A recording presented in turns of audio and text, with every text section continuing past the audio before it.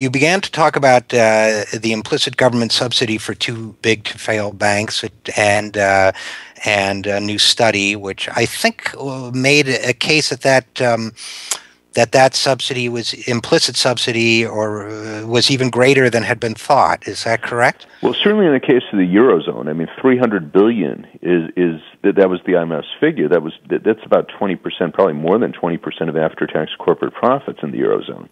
So what that's saying is, if we took away the subsidy, this is just one policy, admittedly a big policy, but the implicit subsidy that the government's giving the big banks in the eurozone, we'd be reducing profits there on the order of 20 percent. It's a little more complex than that, but that's sort of a first blush there. Um, another part of the story, you know, just sticking with finance for a second, um, finance is grossly undertaxed. The IMF says that. You know, if we go buy a, shirt, uh, shoes, you know, uh, food in most states, we're going to pay tax. But you trade shares of stocks, derivatives, no tax. So why not tax finance? You know, and again, here even the IMF's saying that. You know, so again, that's a big hit to their profits. Um, moving to other sectors, we spend about 2% of GDP, about 360, 380 billion a year on pharmaceuticals. We do that because the government gives them patent monopolies.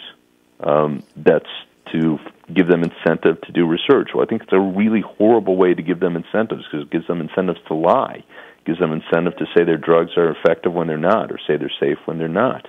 So if we had a different mechanism, we would spend a lot less for drugs and you'd see much lower profits in the pharmaceutical industry. Um, there's a lot of areas where we privatize things, allow big profits in in cases where the government could do do things more efficiently. I mean, we've talked about this with healthcare. I think I've been on your show talking about that. Certainly, a, a universal Medicare system would be far more efficient than the system of private insurers. The insurers take 15 to 20 percent of uh, what gets paid out in, in uh, healthcare expenditures. They use that for administrative costs. Uh, Medicare, by comparison, it's two to three percent.